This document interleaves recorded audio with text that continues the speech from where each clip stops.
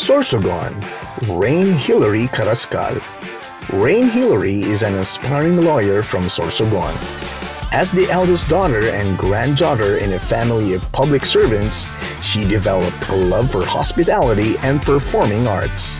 She envisions happy and progressive communities, not just for her province, but for the entire country through the Happy Life projects, which aim to reach remote areas around the country to lend a helping hand to those who are in need.